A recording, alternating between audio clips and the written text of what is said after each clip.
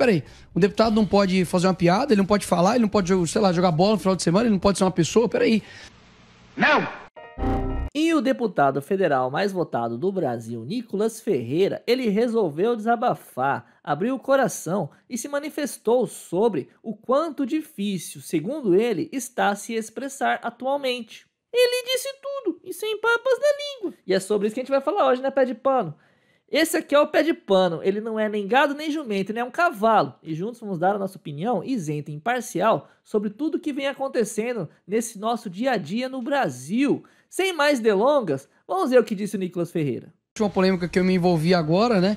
É, com relação a aquela moça, não sei nem o que, que eu falo. é, não... E daí eu até falei, olha pessoal, eu até concordo, né, que foi uma piada desnecessária, tudo, mas eu sei que vocês utilizam disso para poder utilizar de desculpa para poder calar a liberdade de expressão das pessoas. Porque, poxa. Em seguida, Nicolas Ferreira questionou se, pelo fato dele ser um deputado, ele não pode fazer uma piada ou até mesmo falar. Tudo bem, ah, você é deputado e tudo, mas peraí, o deputado não pode fazer uma piada, ele não pode falar, ele não pode, sei lá, jogar bola no final de semana, ele não pode ser uma pessoa, peraí.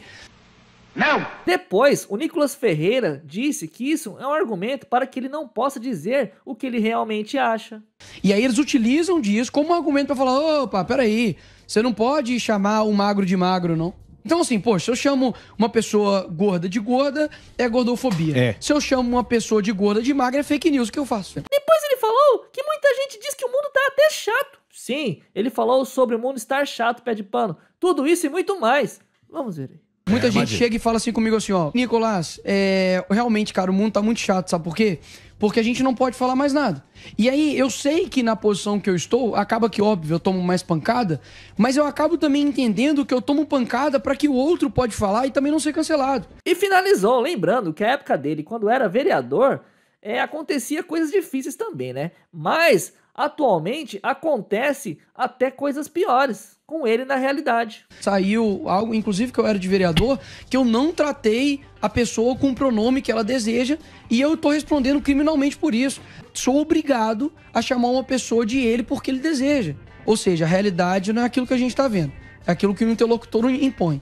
Então tudo é tudo. É. E aí nada é nada. O Nicolas Ferreira desabafou. Você viu só pé de pano? Ele abriu o coração, rasgou o verbo e disse tudo o que pensa. Mas é você que assiste esse vídeo. Qual a sua opinião sobre o que disse o Nicolas Ferreira? Você concorda ou discorda do que ele falou? Deixe sua opinião nos comentários, quero saber. Também é muito importante você compartilhar este vídeo nas redes sociais para mais pessoas ficarem sabendo.